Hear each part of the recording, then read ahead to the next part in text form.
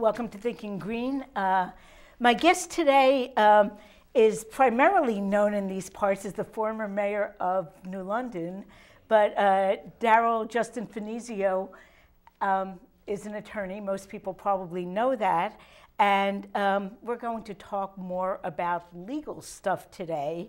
And um, just for people who only know him as the former mayor, um, Daryl, um, you know, starting, gosh, 20 years ago now. It's amazing to think that it was 20 years ago, but yes.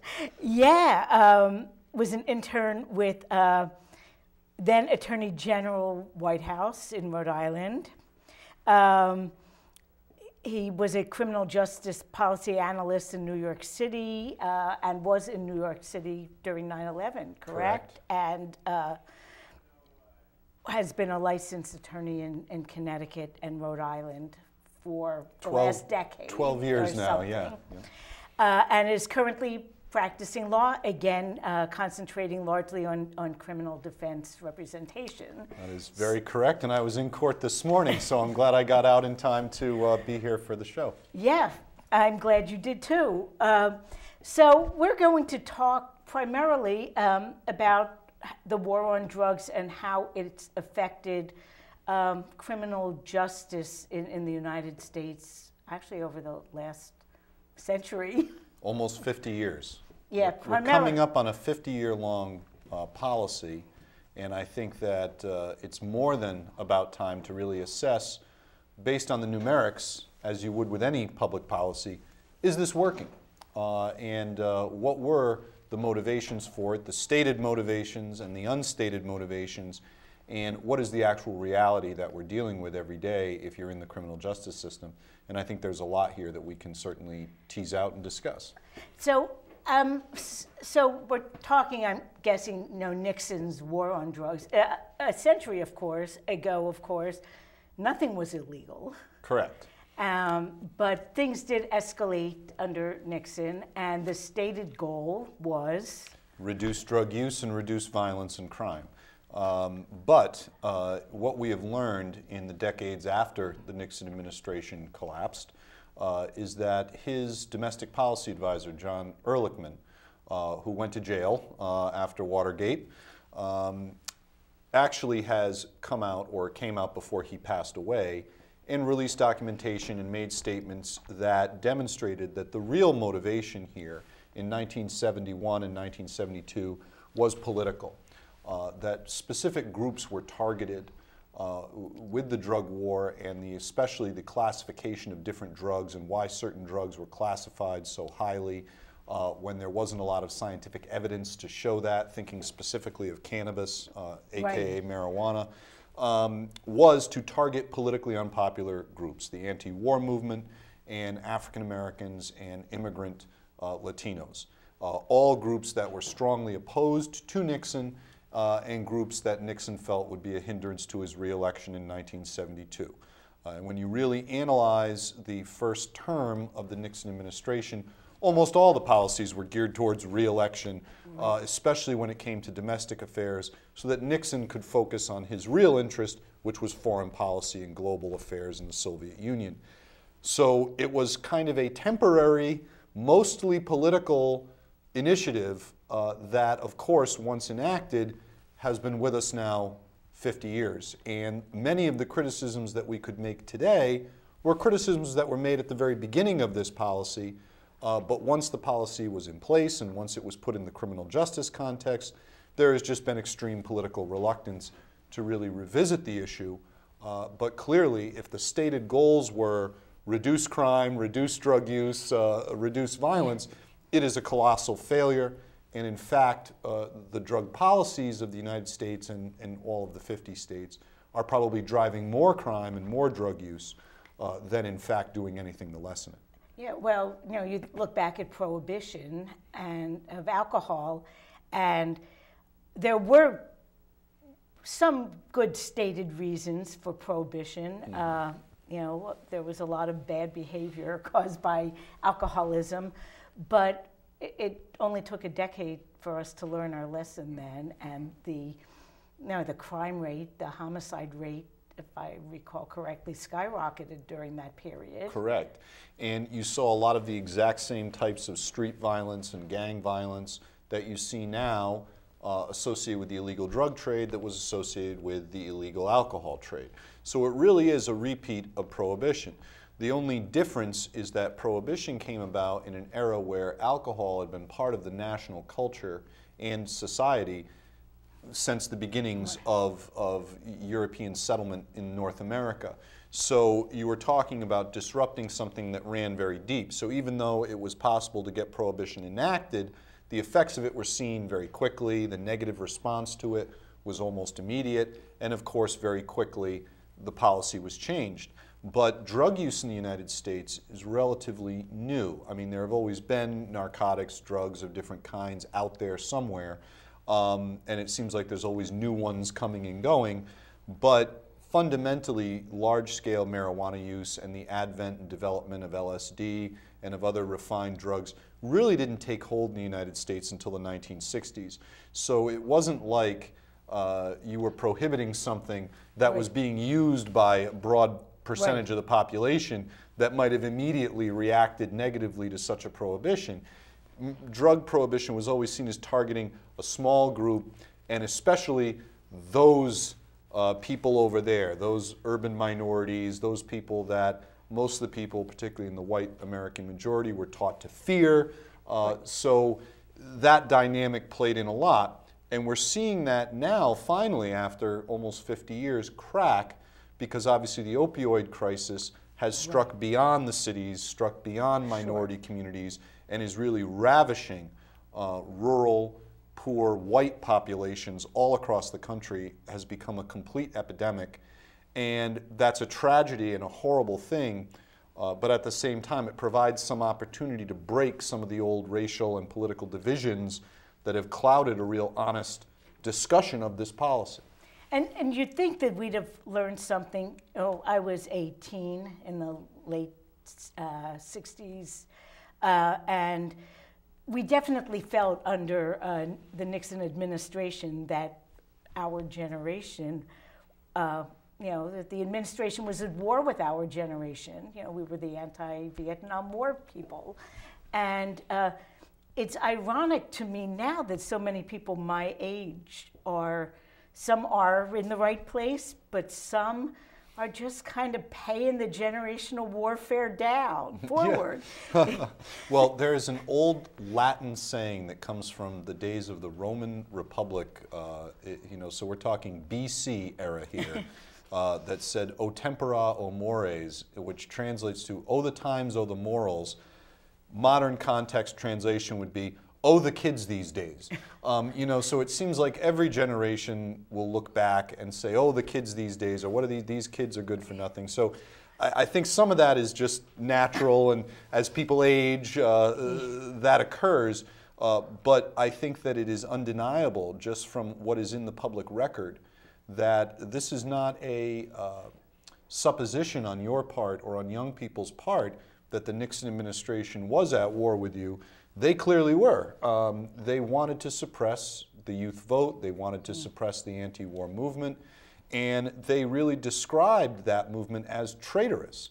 I mean, they saw this as the country is at war, that these people are undermining America in the middle of a war effort, uh, and that is what led to the plumbers uh, after the Ellsberg right. release. So this is what led to a lot of the things that developed into Watergate and what developed into the drug war was this very fervent belief that those people that were opposed to the administration weren't just political enemies, they were traitorous enemies of the country. And now we're seeing some of that rhetoric creep back in in the Trump administration, yeah. and it's almost a throwback to that same kind of far right philosophy that anyone who disagrees with me is, is now a, a, a traitor. So we, I, I, think it's pretty clear that the stated uh, goal of the war on drugs has failed. Drugs are more plentiful, more used, cheaper, probably maybe more potent, but no safer for the consumer than ever. Um, but the unstated uh, goals, um, there's been success they, they've Sure. succeeded at that, And- at, at the disenfranchisement. Sure, and let's- so let's- let's talk about We'll, that. we'll talk about that. I want to get into that, but before we do, just so that we're not speaking in generalities without some actual evidence behind what we're saying, when, when you say that if the stated purpose of the drug war is to reduce crime, uh, to reduce violence, and to reduce drug use, here are some numbers for people. Now, this is from an editorial I published in the New London Day uh, on February 21st, 2016. So we're coming up in two years, and we were discussing before the show. I could probably dust this off in 10 more years, and it'll be just as true. Uh, but here are some numbers. And this is according to the United States Department of Justice. So this is not a made up statistic. These are the official government uh, uh, records. We arrest someone in the United States for drug related offenses every 19 seconds. So every 19 seconds, there is a drug arrest in the United States, averaging over 1.6 million arrests per year. Nearly one in 100 Americans, 1% of our population, our entire national population, is incarcerated right now. One in 10 have been arrested at some point in their lives. Of those who are incarcerated, 70%, almost three quarters of all incarcerated offenders in, in prison in the United States are there because of offenses related to substance abuse in some way. And we, the United States, are only 5% of the global population, yet we have 25% of the world's prisoners. So we have incarcerated, arrested more people than we could ever, ever hope to do. And what's the cost? Well, uh, from 1970 to 2010, according to the United States Department of Health and Human Services, drug use has remained constant or gone up slightly. So use has been unaffected. People use drugs just as much, no matter how much we arrest people or how much we incarcerate people. yeah, I think people. addiction rates remain pretty stable. Pretty steady and stable all throughout. And the last number here is how much have we spent? We increased from spending under 1 billion in 1971 per year to spending over 20 billion in 2010, a total expenditure in that time frame of 1.5 trillion dollars. There is no more program apart from some of our large military programs like our entire sub-production contracts all put together that can even rival that level of government spending on any federal government program. So taxpayer watch groups should really be looking at this. We have spent more money on this than anything. We incarcerate more people than anyone, and drug use has only stayed the same or gone up. And violence, of course, associated with the trade has escalated as well. Last number I'll put out there is from the Centers for Disease Control. Again, primary source government statistics mm. kept year to year said that in 2013, there were 11,208 gun related homicides in the United States. Over three quarters of these were centered in urban areas and are often associated with young people involved in the drug trade. So we have some of the most violent streets anywhere in the world uh, for a democratic society, for a modern society. We have an unparalleled level of gun violence, and three quarters of it is in the drug trade. And well, and, and part of the issue is you're you're a lawyer, and I'm sure people don't come to you to settle their turf wars No. in the court of law. No. Uh, this is something that will take place and always has in the street and will continue until we adopt a different policy. But you asked about, well, what are the unstated purposes here? Well, if the Nixon administration's design was to politically suppress African Americans, Latinos, urban voters, young voters, it succeeded because, as well, another statistic is that three quarters of the people incarcerated in the United States are minority. So if you look at the history of our country, we went from a period where we had institutional chattel slavery, where people were property. That was abolished, but quickly replaced with Jim Crow laws, segregation laws, laws that prohibited people from being able to vote, poll taxes, literacy tests, you name it. Uh, and then as that started to wane in the 50s and 60s, 1964, we get the Civil Rights Act. 1965, the Voting Rights Act. 1967, the first African American justice of the Supreme Court. 1971, the drug war. And now we are segregating and incarcerating as many minorities as we ever have been, except rather than doing it on the flat basis of race, where race is the clearly stated reason for the segregation or the incarceration or the discrimination, it's now being put under the rubric of crime. And we say, well, we're not just incarcerating African Americans, we're incarcerating criminals. But what they don't tell you is that all of the law enforcement targeting and all of the enforcement and all of the drug raids and all of the stop checks are done consistently in minority communities and urban communities and the wealthier white communities where just as many drugs are being used are not being targeted. And this is also nothing new. We can again look to prohibition for that, where yeah. the Kennedys had their exclusive bottles of champagne in the basement. No right. wealthy white family in Manhattan was without their good booze, uh, but the minorities and the immigrants in Chicago and elsewhere were the ones caught in the crossfire and arrested with regularity. And it's the same thing all over again. Except this time it's been going on for five times as long. Five times as long and with a lot more uh, veracity and with a lot of far ranging implications that I think many people don't even consider. Like, what happens when you go into a community and incarcerate all the men so that young children don't have fathers? Yeah. What happens when communities mm. become so plagued by violence and so neglected that the schools start to deteriorate, that the home values deteriorate? Um, when people get a drug arrest, and they have a drug conviction on their record. They no longer get access to loans, mortgages, student loans, you name it. So, where's their economic availability to be mobile?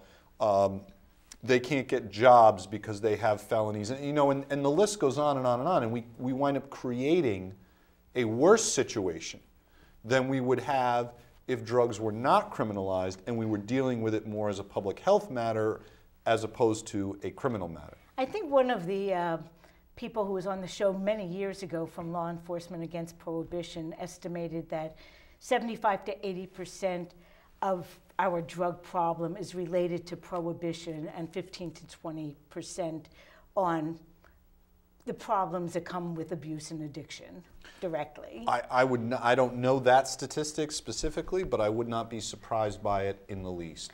And, and when you see people like I do in the criminal courts who are involved in drugs, you're often dealing with people who are involved in drugs because it's the only economic way out for them. Uh, they did not go to a good school. Uh, they may or may not have graduated. They have no family structure. They mm. live in very tough economic conditions. And their prospects are maybe, maybe, maybe a job that makes minimum wage where they can't possibly pay their bills or a quick short drug sale where they can survive. So, you know, I'm not saying that all of these people who are engaged in criminal activity should be excused of their criminal activity. I'm also not saying, and I don't think any of us would say, that right. drugs are good or that people should use them or anything right. like that. But if you just look at it as, is this policy working? It is not. And how many of the other problems associated with the drug war, like violence, criminality, yeah. breaking and enterings, all of these kinds of things, how much of that would be reduced if rather than putting people through the criminal justice system, we were putting them through a public health system instead? Oh, well, and, and the, I know I've told you this, but the way I got interested in this issue, some people might assume that it's because I'm of that generation, so I must love drugs. but really, I, I, I, became interested when I worked for Head Start. I was working with three and four year olds in New London, and many of them had incarcerated parents. And the last year I, I worked for Head Start, it was 2006, 2007. Um, four of my 12 students had incarcerated parents, and in the case of three of them, both parents were incarcerated. So they were living with other relatives, uh, supposedly under the supervision of DCF, but not very good supervision. One of the children actually lost, her, the kid lost her health insurance through a mistake. Um, the kid, the families live in dangerous neighborhoods, so the children never got a chance to play outdoors. Mm-hmm. Uh, it's really costly to fix that. It's, it's, it's a lot, and I think that just ending the drug war itself would only really be a good start in terms of true restorative justice that needs to take place in a lot of these communities that have been completely devastated. Uh, and some people would say, well, if you're going to have universal health care, if you're going to have good quality universal education, there's a cost associated with that. Uh, to that, I would say two things. The first is that the super wealthy in this country, where 82% of all new wealth has gone to the upper 1%, and they just got a massive tax cut, and they're paying far less than they used to pay oh. in this country and far yeah. less than they pay in any other country. I think first and foremost, the billionaires can pay their fair share, and they're currently not. But even to the average person, even to the average taxpayer, I would say, look, we are spending money now. We have spent 1.5 trillion more now, because these numbers are a yeah. little old, more than one and a half trillion dollars on the drug war, and it's not working. So eh, we could spend a fraction of that on health services and on educational right. services, which would work, that we know it works, as opposed to something that we can clearly see is, is not working. So it's really a choice that we're making. It's not like we're spending here or not, you know, or, or right. not. We're going to spend somewhere. The question is, where is it going to actually make a difference? Yeah, and, and a positive difference at that. I was going to ask you uh, how you would view, I know there's some talk of, you know, reparations should our policies mm-hmm. change. Mm-hmm. Um, what form do you think might be useful to use that money for to help restore communities? Sure. Well, I think that that phrase gets twisted, and a lot of people don't understand what it may or may not imply. Um, I think that there are certain circumstances where straight line reparations can be made. Uh, when you can see a university, I think it was Georgetown, that had owned slaves, and this Jesuit university sold slaves in order to generate wealth for their institution. Now, that wealth is still there. That institution is right. very wealthy. They, they have this money still, and they've profited off of the money they got from these slave sales. And there are also descendants of those exact slaves living in this country who can prove I am a descendant of that slave you wow. sold, and you still have all the money. I'm still here, you're still here. Those are situations where actual direct line reparations may be made through some sort of civil process uh, or settlement where the university might pay those descendants oh. some direct compensation. So there are reparations that, that can actually be done in a direct sense. But when I think of reparations and I think of restorative justice, I think more of prioritizing and changing from spending on prisons, spending on drug enforcement, to spending on schools, spending on healthcare, spending mm. on programs that help prisoners reintegrate into society. Uh, I think there's a tremendous misconception, particularly among uh, more affluent white Americans who come from kind of the socioeconomic background that I come from. Um, growing up in Westerly, Rhode Island, going to a good school, living in a mostly white community through my mm. formative years, you approach things with a very different mindset. And I think that there is an assumption on a lot of people's part that everybody in jail is just the worst of the worst. And I think when you actually get into the criminal justice system and you get into the prisons, you see that most people in there are there because of circumstance and are there in large part because of discriminatory policies. And that if given the chance, a genuine chance, to make their lives better, to be productive members of society, they would do that and they would take that opportunity. The problem is those opportunities are simply not there. You get out of jail, you're just left on the street, and it's up to you. Good luck. And what do you and what do you do? You know. So I think that any type of programming that would help us mm. transition and help the people that have been most affected by these failed policies transition into the into a new economy uh, would be appropriate forms of restorative justice. Now, you had talked about the racial disparities in enforcement, and I know you've I think, wrote something about DUI checks. I uh, did. Um, it's a good example of how there can be disparities in enforcement, and it, and it takes it out of the drug context. Because I think when you think about drugs, you know, people have a hard time seeing how this plays out. But here's a good example on DUIs. Uh, DUI stop checks are sobriety checkpoints. When every single person or every fourth person driving a car through that check has to be stopped, and if they detect an odor of alcohol or smell marijuana or whatever the case may be, you could get arrested for a DUI.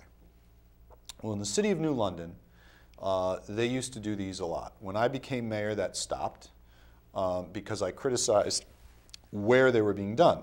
Now I'm no longer the mayor, and we're doing them again. And it was just recently announced where they would be. And it was like the usual suspects. Well, we're going to go to Coleman Street, we're going to go to South Water Street after the bars close. I mean, you know, this kind of stuff that is going to pick up the exact same people, and they're overwhelmingly in poorer neighborhoods, and they will probably overwhelmingly be minorities that get picked up in these stop checks. So my suggestion was a little different. Why don't we go to Plant Street in New London? Now, for those watching who aren't from New London, you may not know these reference points, but Plant Street cuts the south end of New London right. off from the rest of New London. There are three access points to the south end Pequot Avenue, Montauk Avenue, and Ocean Avenue. They all intersect Plant Street. So, how about on Friday afternoon, say at about 3 o'clock, we set up stop checks on Plant Street, on Pequot, Montauk, and Ocean. And we stop every single car until 8 o'clock that night on a Friday going to our nice waterfront homes. We stop every SUV, BMW, Mercedes, we stop them all. We stop the lawyers, the bankers, the brokers, everybody. And we see how many of them have had a cocktail or two at a Friday happy hour and are driving home. So I think you would see a lot of people arrested, a lot of people who would never expect to be arrested in a million years because their cars would never be pulled over in routine law enforcement stops. And that's the prime example. So the issue becomes not who's breaking the law. We know everybody's breaking the law. But if we're only enforcing it in a particular area at a particular time, you are not going to catch everybody or have a fair shot at catching everybody. You're only going to get the usual suspects who usually tend to be minorities, poor people, et cetera, et cetera. So I think you can take that example on DUIs and extrapolate it out to drugs. You know, in, in wealthy communities in this country, there's plenty of drugs being done, and everyone knows that. But those are not the homes that get no knock uh, early morning right. Warrants. Those aren't the places that get flash banged. Those aren't the places that have cops routinely using pretextual reasons right. to question people, and the list and from. You know, the point of view of my experience, they're not the families where the kids are living with grandma or aunt and uncle because the parents are both in jail right. when they're the kids are two years old. Correct. Or there isn't one person living in a house of six people who may have a criminal record and therefore allows the police to violate on probation anybody else in there that might have a probation charge because they're associating with a known drug user and so on and so forth. So I mean when you really get into the weeds of it, you know, once people are kind of in the system, it's very easy to keep them in the system and to charge them with new crimes based on very small technical violations that they almost can't help uh, uh, but commit because of the very nature of, of where they live. Um, but you can also see this play out a little bit on the other side of it too in sentencing. And one of the real prime examples to demonstrate that was the penalties associated with different types of drugs. So for many years, the prime example, and it still is, is the difference between powdered cocaine and crack cocaine. There is no difference whatsoever in what these drugs are doing to you. They're terrible drugs, you shouldn't do them. Yeah, once you start refining the coca leaves, right, right, right. Weeds. Once you're once you're once you're refining cocaine of any variety, you're not doing well. Um, but powdered cocaine was traditionally used by wealthier white uh, defendants on average. Crack cocaine was the drug of choice, particularly in the 80s, of urban poor African Americans. So we got a rash during the Reagan era of laws that increased the penalties for crack possession but not powdered cocaine. No, actually, I think in the 80s, powdered cocaine was sort of not even very stigmatized in its use because during the Reagan years, the whole idea was, you know, they kind of glorified these, you know, Wall Street types who worked 20 hours a day. Right. And I, I, think that's the that that is the point actually is yeah. that they didn't increase the penalties on powder cocaine. They did increase the penalties on crack cocaine because crack cocaine was associated with urban urban minorities, particularly African Americans. But there's no real other reason for it. And it didn't do anything either except incarcerate more minorities. And then of course in the 90s, late 80s, early 90s, we got laws at different state levels like three strikes you're out and so on and so forth where people got one, two, three drug offenses. The last one might have even been a minor offense, might have been just a marijuana offense, a small amount of marijuana, and people are getting life, life imprisonment. Um, so there's some real obscene edges to this that I think show that there are fundamental flaws that run throughout the whole, whole policy. And that really points back to the um, initial unstated desire uh, with the war on drugs to uh, disenfranchise people of color, for example, and sure. poor people. And I think that there's a subconscious strain of that that runs through a lot of white America. Uh, I think a lot of people who grow up the way I did, you know, I grew up in Westerly, Rhode Island. Everything was nice. It was, you know, nice I grew town. up in Philadelphia, but but I have to tell you, I, I don't think there was a person of color in my elementary school because my immediate neighborhood was, was white neighborhood was, was, very white. My high school was very different, but in the younger grades when we had neighborhood schools, there was de hmm. facto segregation there. And and what I saw growing up was this sense that if you lived in a community like mine and you grew up in a stable family environment, the only thing you knew about urban minorities was what little you saw through TV and you saw, you know, uh, the advent of like gangster rap in the early 90s and the news commentators, oh my God, you know, what is this? We've got this real problem, you know, and these people are doing all these drugs and stuff. And you get this impression like, oh my God, there's a real problem over there in that, that community, when in fact, there were probably just as many drugs being done on my street growing up, but I never even knew about it because you weren't kind of taught to think that way. We weren't really taught to think that drugs in and of themselves were the problem because they were everywhere. Right. It was those urban people over there who look different than me, who act different than me. You know, they're so violent, there's some problem there. And you see that even now with, with, with Donald Trump. I mean, uh, to, the, to, the, to the nth degree. He will say, My God, it's an American carnage going on. Look at Chicago. Look at all this violence. Look mm. at all mm. these shootings. Because it's minorities doing it. And it feeds into that subconscious white fear of this other and this dangerous minority. But when it comes time to confront Nazi marchers, he says, well, there are very fine people out there. Or when a, a, white man shoots 500 people at a concert in Las Vegas, well, there's a mental illness issue here. But when it comes to urban minorities and drugs, it's, oh my God, this is, you know, be, be afraid, be very afraid, and we need to get tough again uh, well, and double down on the drug war uh, one more time. Well, well, even in a more general way, I think in Connecticut, you know, we have a, a huge wealth gap here, and um, the cities are kind of looked down on. Oh, sure. Well, I mean, you can look even in our own county. Um, the New London Day is based in New London, and obviously, if somebody gets stabbed or somebody gets shot, that's going to be a headline. Right. And those are the headlines that come out of New London where there are minorities to surrounding communities that are overwhelmingly white. Yeah. And when you're sitting in Ledyard or Montville or, or Voluntown, and you read about, oh my God, these, these New London people with their guns and their, their stabbings and their whatever, you get a mental impression that I think is not really representative of the people that live in Absolutely. the city. And I live now on Mountain Avenue in New London, which is in the heart of one yeah. of the tougher neighborhoods in the city, quote unquote. And yet I can walk right down my street.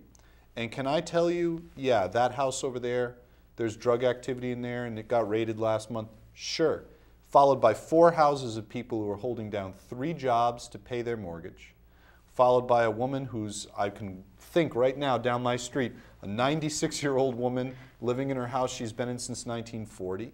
I can think of immigrants who live near me who work round the clock, it seems like, just to try to make ends meet. People in rentals next door to me who each person in the apartment has two jobs just to try to pay their rent. I mean, 90% of the people in my neighborhood, which is hmm. quote unquote the tough neighborhood, are law abiding, hard-working people. But are they at least 50% minority? Yes. Are they in a lower income bracket? Yes. And do we have drug dealers and people on our street doing improper things? Yes. But that does not tell our entire story. And I think if more people in the surrounding environs really knew how many people in the cities obey the law, work hard, and are trying like crazy to, to, to do the right thing, they would think differently of it. Well, I think part of it, I, I, lived in Pleasure Beach in Waterford for 15 years before I moved to New London. And you know what?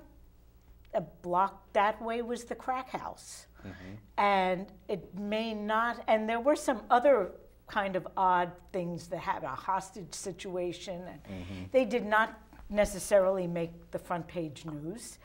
And so when I moved to New London, we rode bikes a lot. We would always have our bikes stolen when we lived in Waterford we really didn't in New London. So it just seemed odd to me that on one hand, uh, the crime seems to be magnified in New London, but it, bad things that happen in other places seem to be suppressed as bad, well. Bad, bad, things happen everywhere, um, but I think that a lot of people have fed into the rhetoric about the cities and about minorities, and that subconscious fear has been amplified because when I was mayor, I remember uh, having some numbers on the Crystal Avenue high rises, um, which are now in the process of being right. demolished, and people have read all about that.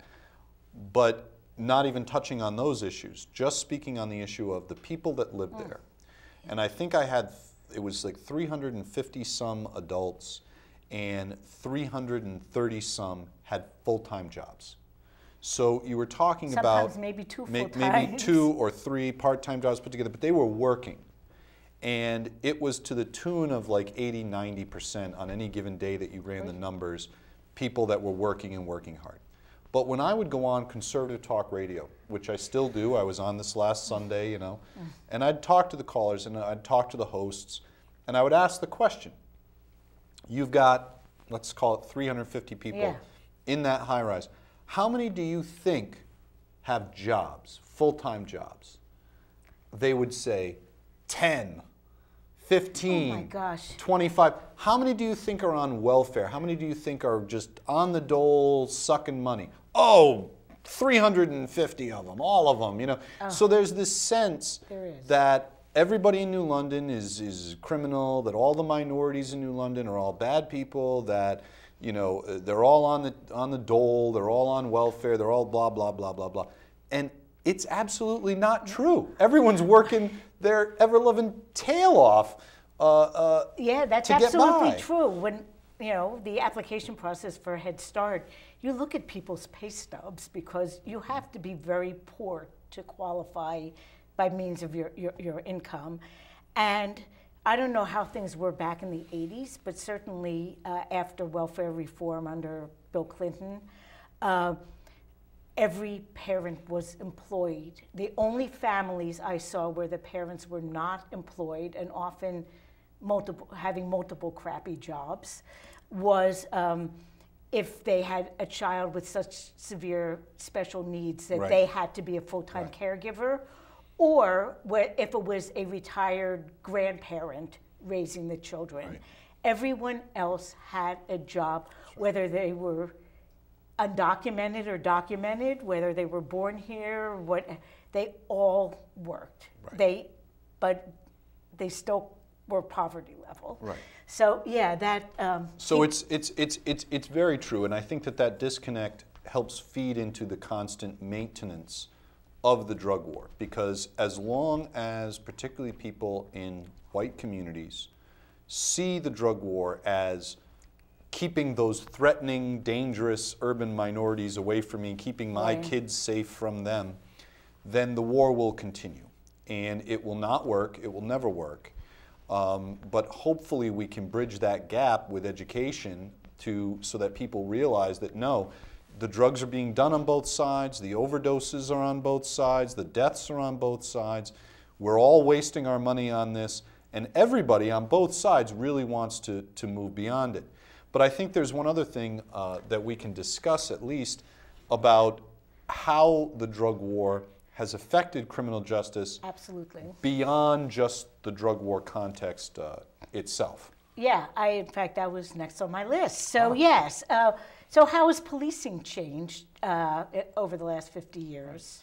Well, I think that is really the thing that gets missed when people talk about the drug war, is that in the last 40 years or so, cases have come to the Supreme Court about police powers. When can the police stop you? When can they search you? When can they seize your items? When do they need a warrant? When are there exceptions to the warrant requirements? And so on and so forth.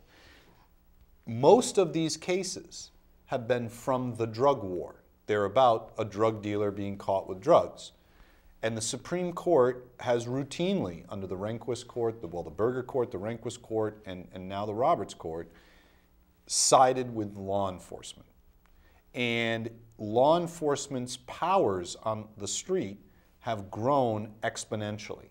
And deference to law enforcement has grown exponentially.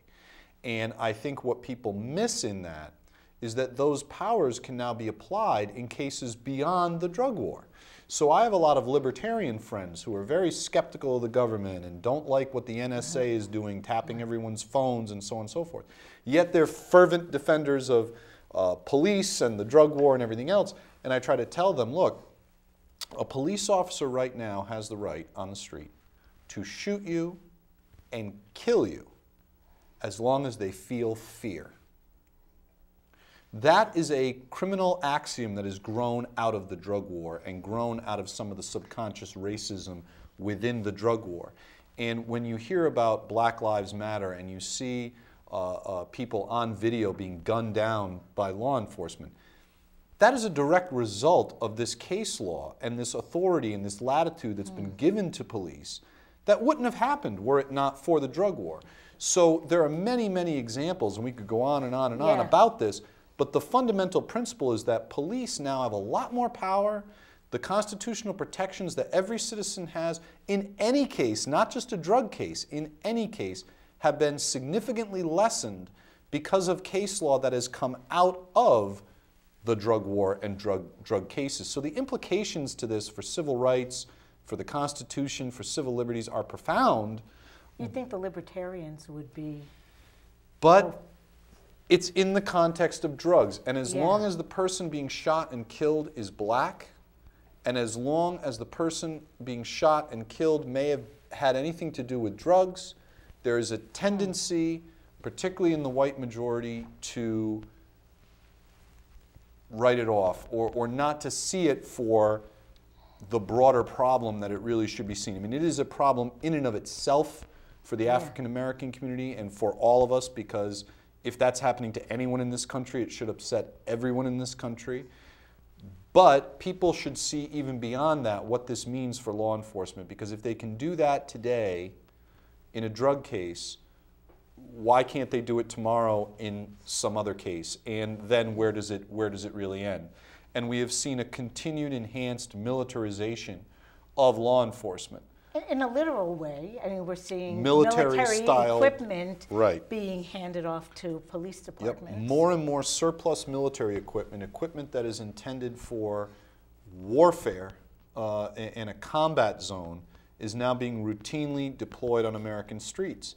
And uh, the Trump administration, with Attorney General Sessions, wants to increase that and, and make it easier uh, for local law enforcement to continue their militarization. Uh, where it really struck me was in Ferguson. Uh, when Ferguson, Missouri's protests took place, uh, I remembered watching the protests, and to a great extent, the protests appeared, at least early on, completely peaceful. This was a nonviolent uprising that was met by armored personnel carriers and heavily, heavily armored law enforcement. And the last time I remember turning on my TV and seeing armored personnel carriers being brought out against overwhelmingly African American mm. peaceful protesters was right before the end of the apartheid regime in South Africa. Mm. And I literally thought to myself, what has happened in this country that I'm seeing something on an American television set from an American city that the only parallel I can think of eh. is apartheid South Africa. Something has gone off the rails here. And, and I hope that more people are starting to recognize that. And I think it has kind of gone beyond the drug war. I mean, we saw something similar in North Dakota with the you know, water protectors and the, their protests that were met with armored, militarized uh, law enforcement. Well, it, it, if there is a group in the United States that can claim to have borne the greatest brunt of our discrimination and or our imperial uh, ambitions, it is the Native American population. Um, so in that respect, that discrimination has been going on a lot longer. Yeah. Uh, we can go back to the 1600s and the massacre at Mystic right here in New London County to know right. That we will bring armed force against Native peoples. Uh, so that remains unchanged and it's a tragedy in and of itself. Uh, but certainly some of that militarization is enhanced by the fact that the drug war has allowed Absolutely. overall militarization. So we only have a few more minutes. So what can people do? What can be done to rectify this? I, I think that that is obviously the, the million, well, excuse me, not million, $1.5 trillion question. Um, I think that people need to be more politically active in general in this country. Um, over half of the eligible voters in this country uh, do not vote. Uh, and even those that vote uh, do not always vote. Uh, so voter turnout is abysmally low, and, and general political participation is even lower than that. Um, I can't overstate to anybody listening how much of an impact even one person can have who wants to be truly active in the system. I've been involved in politics now for 26 years. My first full-fledged campaign was in 1992 and I've been at it ever since, almost every year, running for something or running somebody's campaign or being involved in some debate or being in court, that you show up at these campaign headquarters, even for congressional candidates, there are four people in the room. You right. show up at a city council meeting in your hometown for a key issue, there might be 10 people, 20 people, tops. So pretty much anywhere in this country, you show up with 50 people, you're going to have a massive impact. And if you get people to vote and voter turnout went up even 10%, you'd see right. dramatically different results, especially considering that that half of the population that doesn't vote and the population that doesn't get as active in politics is usually overwhelmingly poorer, minority, etc. So if more people participated at any level, I think you'll see change. But if people continue to not participate, then you are going to cede your power to those few people who do. And one, I've been told I have one minute, but I just wanted to ask you quickly. So if someone is stopped, uh, caught up in one of these ra random stops, what should they do? Well, first and foremost, say nothing and sign nothing. Um, I think a lot of cases that I've seen, especially in my own criminal defense practice, the individual client, the individual criminal defendant will do themselves in by saying things or by signing things, agreeing to searches and so on and so forth, that essentially admit their guilt. Um, so remember, you have a constitutional right to remain silent, and you should use that right. Even the President of the United States apparently is about to invoke that right. So if it's good enough for Mr. Trump, it's good enough for you. Well, thank you, Daryl. Uh, we'll have to do a repeat at some point, maybe in a year, maybe. Happy to be back. Some we'll, things might We'll dust off the same editorial, and I bet you it'll probably be the same argument. Hopefully, we'll have taken some baby steps. Well, Let's hope. Let's hope. Uh, thank you very much, and uh, glad to be see here. you around town.